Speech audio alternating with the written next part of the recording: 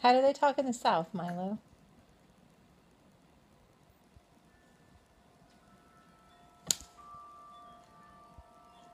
Hey y'all.